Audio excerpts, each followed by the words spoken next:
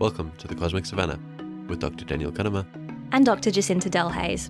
Each episode, we'll be giving you a behind the scenes look at world class astronomy and astrophysics happening under African skies. Let us introduce you to the people involved, the technology we use, the exciting work we do, and the fascinating discoveries we make. Sit back and relax as we take you on a safari through the skies.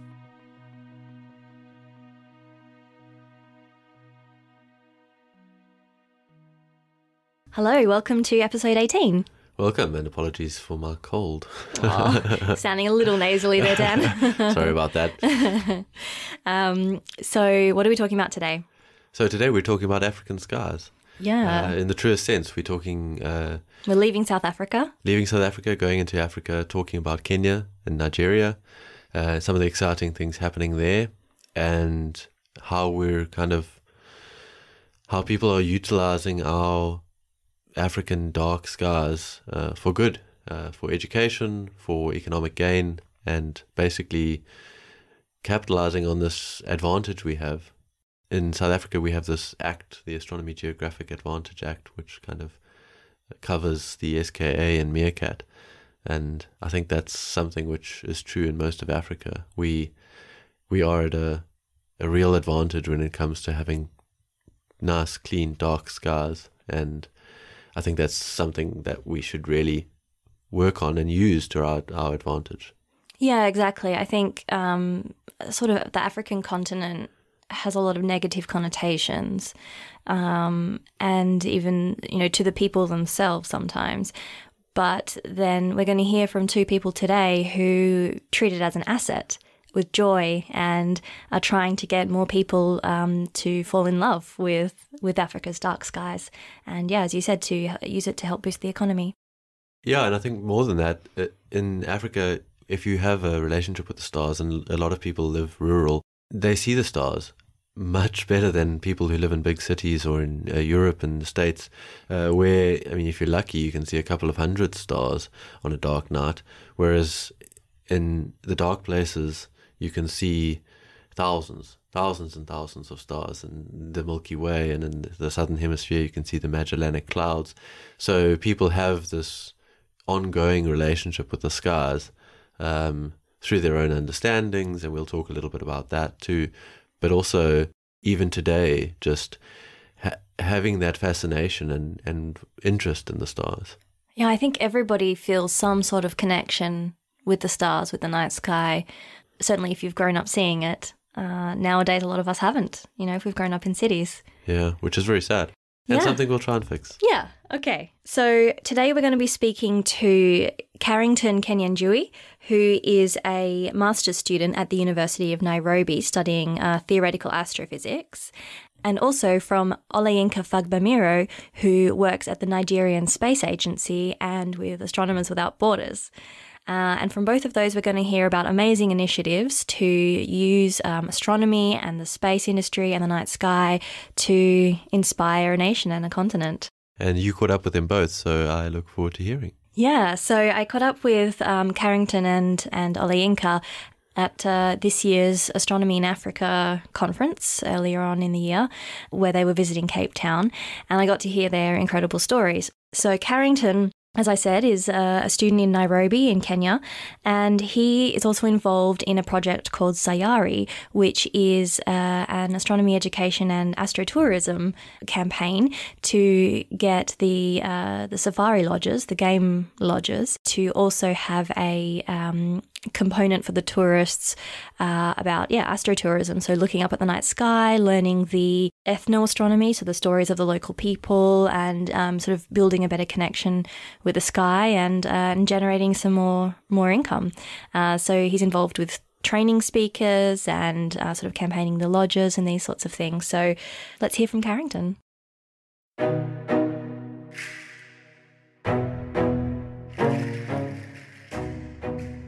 We're now talking to Carringtone Kinyanjui. Welcome, Carringtone. Thank you for having me, Jacinta. It's a pleasure. Uh, can you tell us a little bit about yourself? Uh, I, I, I can tell a lot. okay, good. so, so anyway, um, I'm a student. My name is Carringtone Kinyanjui. I'm a student uh, at the University of Nairobi back in Kenya.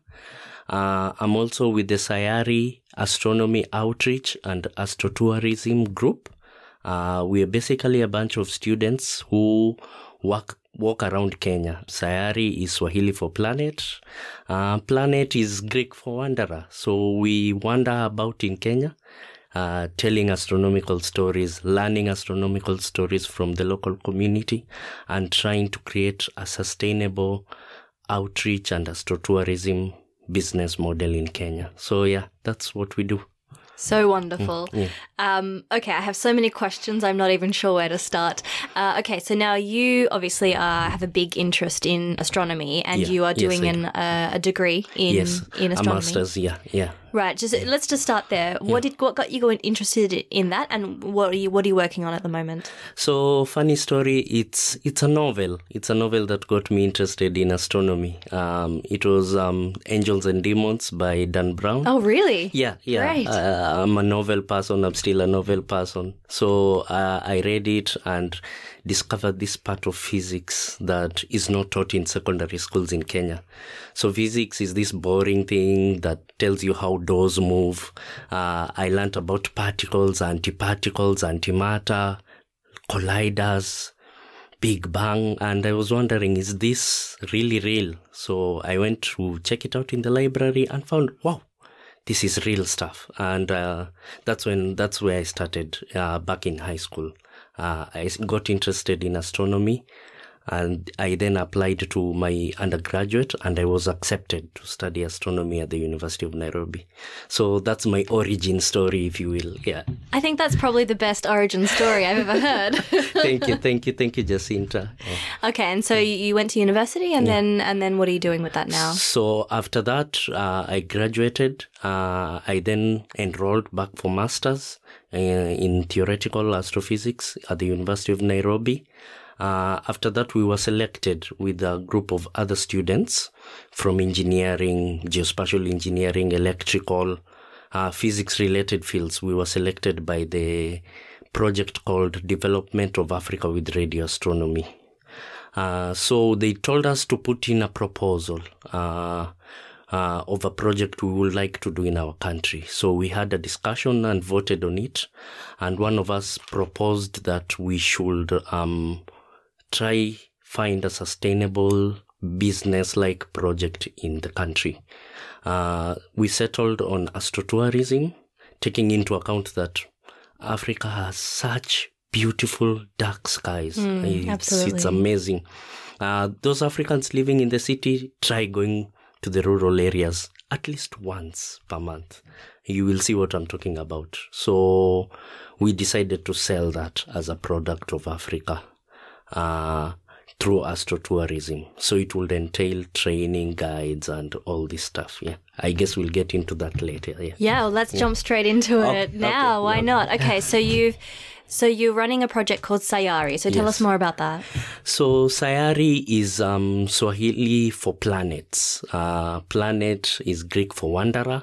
So that's what we do. We wander about the country. Uh, so we move the the project specifically. We do outreach and we also work on astrotourism. Uh, so the idea is to get game parks, uh, specifically lodges in game parks, because that's the arrangement back in Kenya, uh, to get interested and to invest in astronomy. Maybe buy a telescope, maybe buy a pair of binoculars or something, a laser pointer even, uh, and then have that as part of their products. So they not only sell game drives, but also sell the night sky uh, to the tourists and maybe charge a fee for it and maybe employ someone to do that, uh, a local with local knowledge. Uh, another part of it, a strong part of it is the eth- is what we call ethnoastronomy. We know that Africans had their own stories of the night sky because they moved around using the night sky as a compass. So we want to know those stories, and tourists who come to Kenya want to know those stories. So I think it is interesting to also sell that uh, as part of the products of, of, of Africa. We are working to try get um, dark sky certification for our local game parks. So we've focused on one game park called the Mara, Maasai Mara. I'm sure it's famous. So the idea is to try convince them to preserve the night sky and sell that as a product.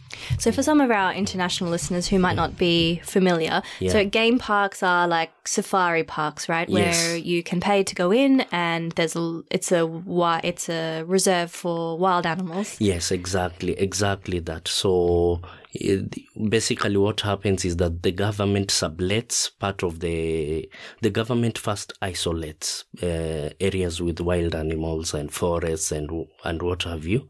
Then it sublets this to private companies. At least in the Kenyan arrangement, it sublets this to private companies who then use it as a product and pay the government some bit of money, either the government or the local government. Yeah, so that's the arrangement. Right. So this is a sustainable source of income for Kenya.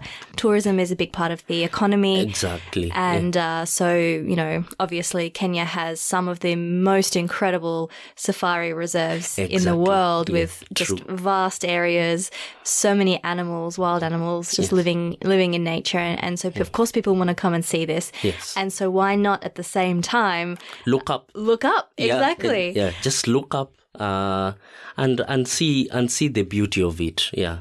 Uh, so most of tourists to Kenya are are Europeans, are Americans, Australians, and so most of the most of the night sky is gone to them because of the huge cities. New, you think about New York, California. Think about Paris. Think about London. So the night sky is gone for them. Uh, for this reason, um, it will be interesting to have them look up occasionally and and maybe hear the stories of other uh, other other people. So most of astronomy stories are, are by the Greeks because the Greeks wrote it down. So the Greeks tell their stories. So we would also like to document our stories and and tell them to tourists. That's part of it. Yeah. Do you have an example of any of these stories that you might give us a sneak preview of? yeah. Uh, so the Samburu have an interesting story. Um, what we call the Milky Way galaxy um, comes from the Greek. Yeah. So the Samburu name for it is Ngokwar Enkai. Uh, that is the belt of God. So to them, to them, that was part of part of part of the clothes of God, if you if you would have it that way. So that's interesting. Uh, they also have a specific.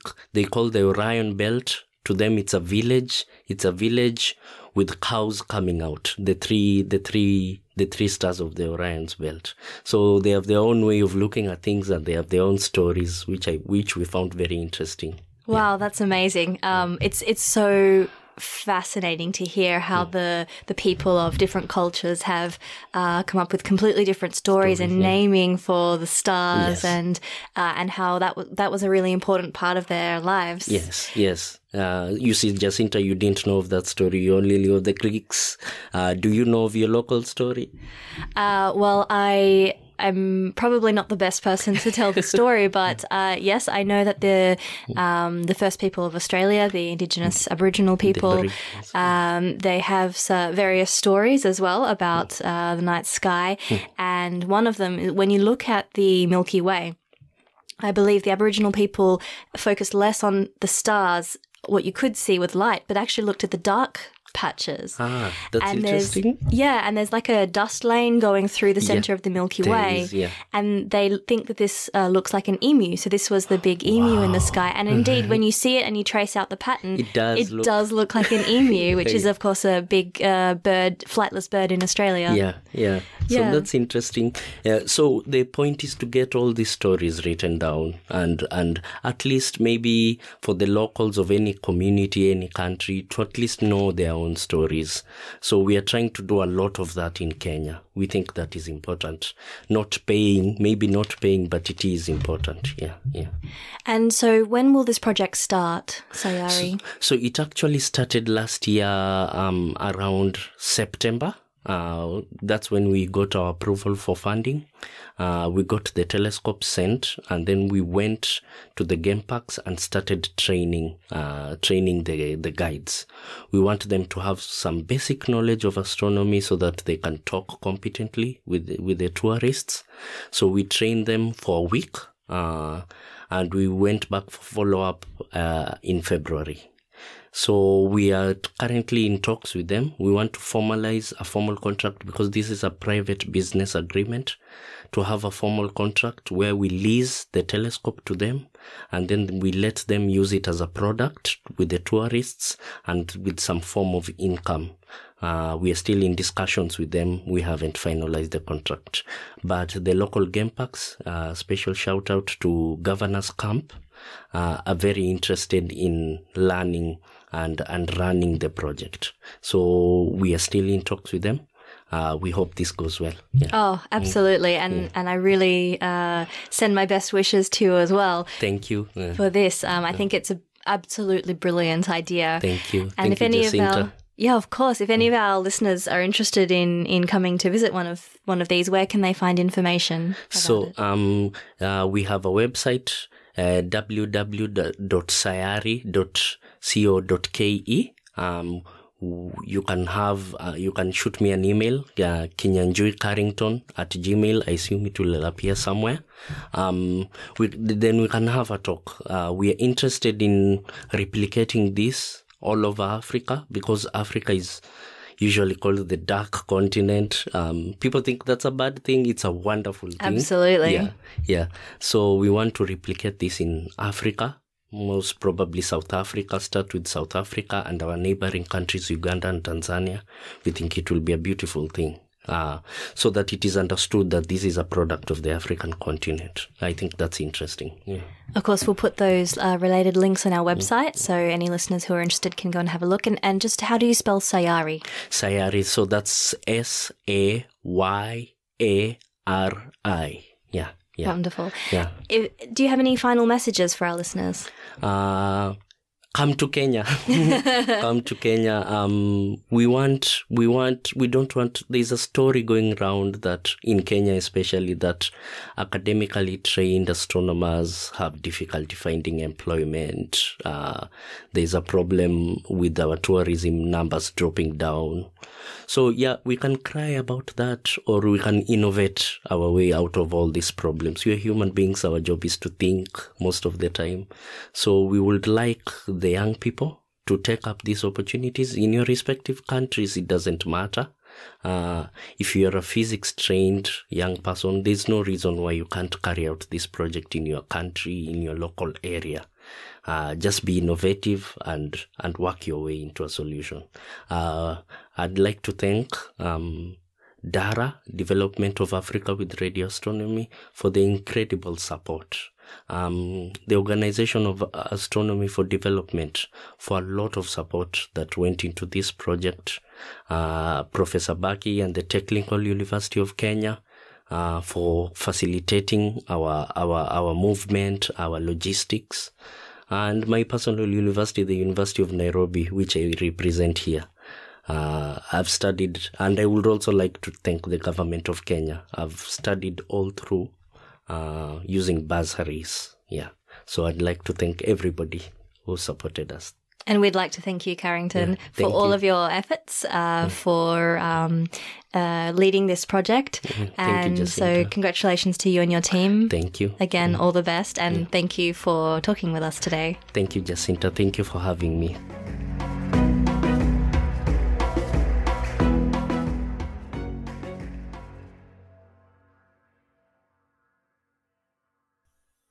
Great, thank you. I I really enjoyed that. It was interesting, wasn't it? It really was, and and just wonderful to hear his enthusiasm. I- I mean, as a master's student, he's doing so much stuff already, Amazing, I know. and um, and just his his aspiration to already take it beyond his own country. I mean, this is something which I would love to see happen in South Africa, and I know there are some initiatives to begin some astrotourism, more astrotourism in South Africa, and collect the ethnoastronomy stories in South Africa too. Some work has been done on this. There's a, a great book called Venus Rising, um, which you can download, and we'll stick a, uh, a link to it on our on our website, and a lot of this history has been recorded, but it's not necessarily shared um, as wildly as it should be. And what Carringtone talks about and trying to tell these stories and and communicate with people these different understandings of the scar um, is is really quite wonderful. Yeah, absolutely. And I'd love to do an, another episode on um, South Africa's ethnoastronomy. Yeah, we should. I should give that book a, a solid read. And Yeah, well, if anyone knows a lot about this, please reach out to us because we'd love to talk to you. But off the top of your head, Dan, do you know any stories? Uh, and I mean, I've, I know of a couple. Different communities have obviously have a different understanding of the Night Scar. I know in Sutherland we've got a, a small display about a, a boy who kind of collected the shooting stars and threw these stones up into the sky to create, you know, uh, the stars, which is, is pretty wonderful. Oh, it's beautiful. Um, yeah, yeah. So we've got a little display about that up in Sutherland, and I mean, there's a, a wealth of different understandings of the, of the sky.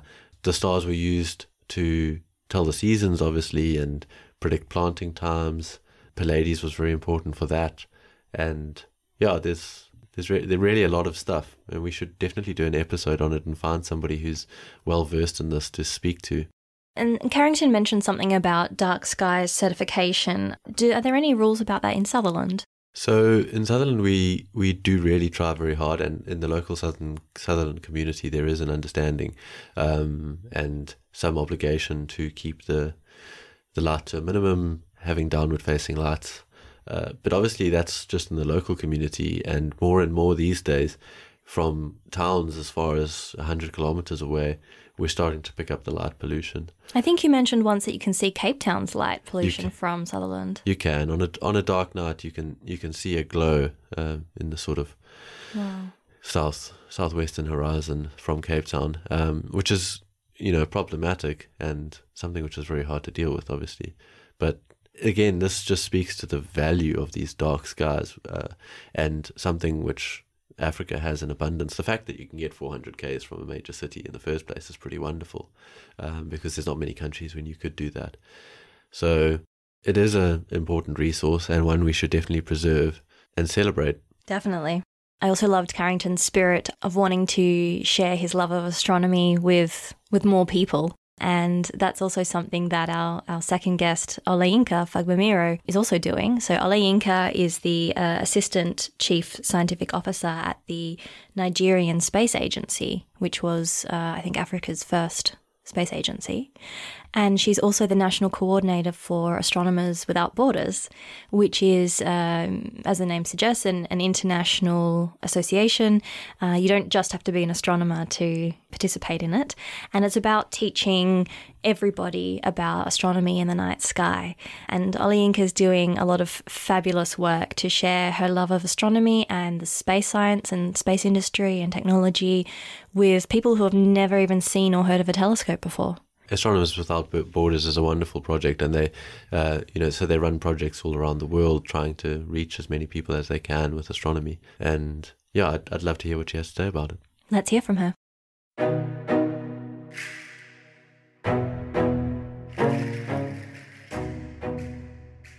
Hi, we're chatting with Olayinka Fagbemiro. Welcome, Olayinka. Hello, hi. Uh, Oleinka, you're from the Nigerian Space Agency, is that right? Yes, please. Can you tell us a little bit about what your, who you are, where you're from, and what your job is?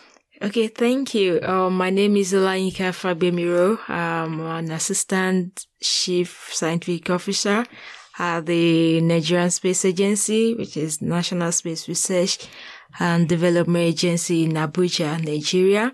I'm also the founder and national coordinator for Astronomers Without Borders in Nigeria. We started in 2013.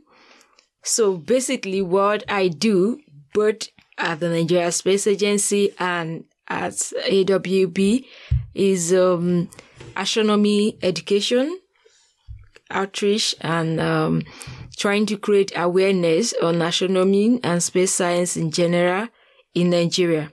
You said that there's a, a lack of awareness of, of astronomy in Nigeria. So, how did you get involved in the first place? Okay. Well, I got involved by accident, if I may use that By word. accident? Yes, by accident, because um, when I was growing up, I didn't have anyone tell me about astronomy. I didn't know what astronomy was.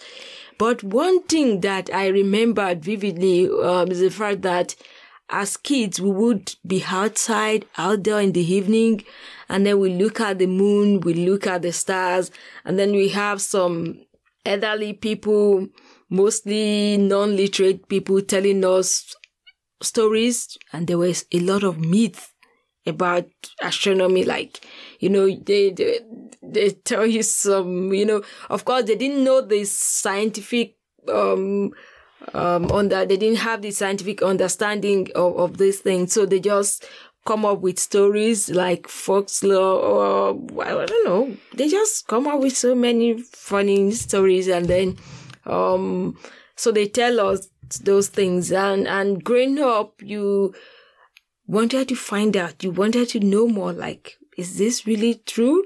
For example, they would, they would tell you things like, um, if there was solar eclipse, for example, you will hear stories such as, um, an elephant and a lion are fighting in the in the wild. So that is why everywhere went dark all of a sudden. And then, you know, I, I was curious. I wanted to find out as I began to grow up and then I had more understanding and I could go and read on my own. And then I found out, wow, these things were not. So that really, um, made me have interest in astronomy. And so when I found myself at the Nigerian Space Agency, it was natural for me to just toe that line. So can you firstly just explain to us what the Nigerian Space Agency is? Nigerian Space Agency is a pioneer space agency in Africa. It started in 1999, May 15th. The founder, or the person that started, um, the government that started the agency wanted um, Nigeria to develop capabilities in, in space science and technology. And so the agency was started. And um, over the past um, 20 years, this year, the, the agency has been involved in a lot of um, developmental projects and, and activities. They have different centers. Um, they, they do a lot of things about um, satellite technology and development, satellite transport and propulsion, geodesy and geodynamics, um, basic space and atmospheric studies, um, atmospheric research, and a whole lot. The, the agency does a whole lot. Over the course of these years of its existence, also the, the agency has been able to launch um, about six satellites to date, which were done in collaboration with um, international organizations and countries. Uh, because we are yet to develop capability in launching this satellite on home soil. So what the agency does is collaborate with um, China, with United Kingdom, and, and so on, and then um, they they have these projects. Can you tell us more about what your particular role is? Okay, so like I said, I'm an education outreach officer, and what that means is um, I carry out a lot of education outreaches. We want to be able to reach out to a lot of Nigerian kids. There are millions of Nigerian kids, um, and we're trying to develop the next generation of kids in Africa who are going to take over the, the space industry. We want to create awareness. We want kids to know about space. We want kids to know about astronomy. And so we want them to develop interest in having careers in, in these fields. And also we are trying to train teachers because we know that, um, a lot of teachers don't even know about space science uh, themselves because uh, most of our curricula do not have space science or astronomy as as subjects in in elementary and high schools so we're training teachers we're training kids we are popularizing astronomy we're popularizing space science and technology that is what we do that is what i do Wonderful. I mean, it's it's obviously really important, and like you said, uh, there's a lot of kids who don't know about it, and and who could know about it. Yeah. Uh, we need the next generation of of people trained so they can take over. Take over, yes. Right. Uh, so now you you said that you also founded the Astronomy Without Borders Nigeria in 2013. What's that about? Okay, thank you very much. Um, Astronomers Without Borders is a global body. Um, the president is Mike Simmons from United States. I think he started the, the, the organizations and then over the years, um, we have different countries keying in into that. And like the name suggests, like a, a community of, of, astronomers from all around the world. So in 2013, I met um, Mike Simmons at a conference in Germany. Before AWB was founded, I was already into outreach activities, so it was really easy for me to, you know, transit into into AWB. And since inception, we have been able to reach out to thousands of kids.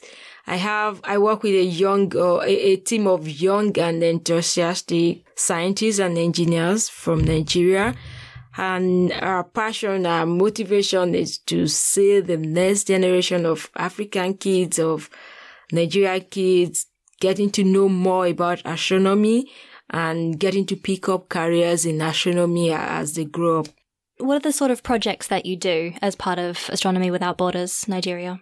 Great. Um, so the we have a lot of projects that we do. Um, the most um, popular being the um, astronomy outreach, which means we go outside, we go on the streets, we go to schools, we go to places of worship. We are literally everywhere, creating awareness uh, about astronomy. We we have telescopes which we take out. A lot of kids have not seen telescopes in their lives that, you know, in their lives. So, so when, when we go out and then we carry the telescopes, we are able to excite them because when they see telescopes and then we, we, we use that as an opportunity to teach them.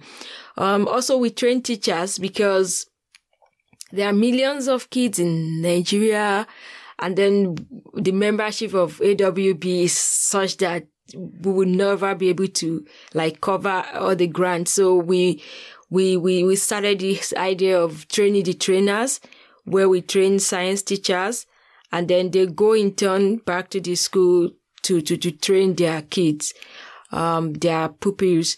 Also, we have some gender-based projects, um, like the girls astronomy uh, camp because in Nigeria, a lot of girls are out of school and then there is this gender gap in, in STEM education in Nigeria. So we we started this project which we um, we we focused on the girls to make sure they also are not left behind. Also, we have um we key in into some international astronomical events.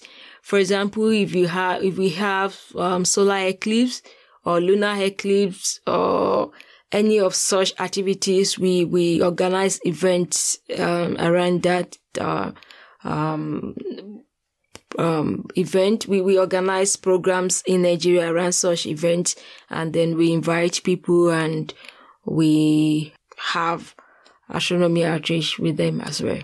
Are there any messages you'd like to share with our listeners? Yes. Um, um, first and foremost, uh, I want to say that kids are generally excited about astronomy everywhere in the world. You know, astronomy is very exciting, it is very interesting, and then a lot of kids um, can relate to how interesting and exciting it is to just look up the sky and then you're able to see stars, you're able to see the moon, you know, it's, it's really, um, a very good thing. Um, and so you, you don't need to push too hard before you get kids to be interested in astronomy. And that's what we've been, um, trying to do in Nigeria you know, we go out on the streets and then we see kids. And by the time we are setting up our telescope, before we are done setting up, you see a, a lineup of kids already waiting because they are curious. Kids are naturally curious, so they want to know. So what is this?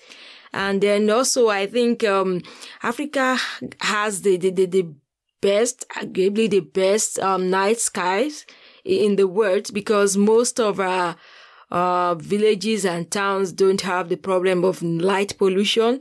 So it's very easy to, to see things as opposed to people in the city centers where there's light pollution. So, uh, like if I go on outreach to the villages, I just tell them, you guys think you don't have electricity and so you're, you're sad, but why not look at it this way? You have this beautiful night sky that without the aid of any device, you're able to look up and you could see the craters on the moon. So I think it's a good one. And then I want to encourage as many astronomers or astronomy enthusiasts in, in Africa to please, um, let us reach out to kids and so that we have this next generation of African kids who are already aware of what astronomy is and who are ready to take up careers because whether we like it or not, we uh, are going to retire someday and then who is going to take over? So we need to put in more effort into astronomy education in Africa. Thank you. Yeah, I mean, thank you so much for speaking with us today, Olayinka. I think that the work you're doing is so incredibly important and congratulations to you and to all of your your team members Thank and uh, good luck for it in the future. Thank you very much.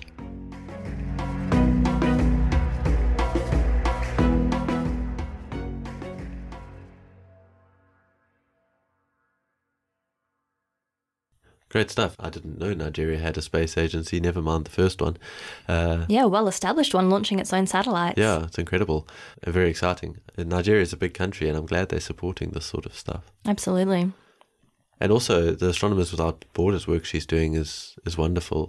It's it's another one of these great ways in which we're trying to reach as many people as possible, and it's wonderful that these organizations exist. And if you'd like to support them, you can actually if you go to the Astronomers Without Borders website, uh, astronomerswithoutborders.org, which is quite easy. Uh, you can donate and support these programs. They have a list of the programs that they're running and future programs that they will run, so you can you can see what they're doing and how it's having an, an effect. Yeah, and we didn't get um, much chance to go into into a lot of detail with Olayinka about the exact projects that she's running, but they're uh, she's just such a driven person, and they're so passionate, and just so much so much stuff that they're doing. And I loved what she was saying about taking out a telescope, and the the kids had never seen it before, and they were wildly excited to have a look through it. Yeah, it's one of the great things about astronomy, and not just what you see through a telescope. I think so many people you encounter have never looked through a telescope before. It almost doesn't matter what they're looking at, even if you point at a an Earth like bound object, uh, people are excited. It's it's quite a thing to see that sort of magnification. Yeah, and Olayinka made a really good point that that we really need to put more effort into astronomy education in Africa. And I thought it was really interesting how both her and Carringtone got interested in astronomy by, by complete accident. I, I think it's surprising how often that happens. For, unfortunately, I did not. No. I, I was I was very interested. Well, as we heard in the previous episode, it was d- directly handed to me in a book. but a lot, but a lot of people uh, have stumbled into astronomy. It's not one of those things which he, people hear enough about. Uh, you don't hear about it as a child as a possible career path, and to some degree that falls on us. And that's kind of the stuff we're trying to do here is show people what people are doing in astronomy, um, all of the varied careers people are involved in, and how you can be involved in astronomy. And if that can get through to young children, then maybe they will see astronomy as a, a career option. Yeah, and also that Africa excels at astronomy. It's it's something that we can all all be proud of. Absolutely, and and grow. I think Yeah. it's it's growing very very fast, Definitely. and there's a lot of growth to happen in Africa. It's a it's a very exciting place to be. That's why I'm here. Yeah, it, it's true. There's a there's a, a massive pull right now to African astronomy. Hmm. Great, and we will have links to all of the uh, websites we've mentioned, the Absolutely. projects uh, on the website. So if you'd like to find out more, if you'd like to donate, uh, you can do so, and we'll post those links. Yeah, and uh, I think that's it for today, right? Yeah. Thanks again for listening, and we hope you'll join us again on the next episode of the Cosmic Savannah. You can visit our website, thecosmicsavannah.com, where we'll have links related to today's episode, and you can follow us on Twitter, Facebook, and Instagram at Cosmic Savannah. That's Savannah spelled S A V A N N A H. Special thanks to our guests today, Carringtone Kinyanjui and Olayinka Fagbemiro. Thanks to Mark Allnutt for music production, Janus Brink for the astrophotography, Lana Ceraj for graphic design, and Thabisa Fikelepi for social media support. We gratefully acknowledge the support of the South African National Research Foundation and the South African Astronomical Observatory to help keep the podcast running. You can subscribe on Apple Podcasts, Spotify, or wherever you get your podcasts. Please rate and review us and recommend us to a friend. And we'll speak to you next time on the Cosmic Savannah.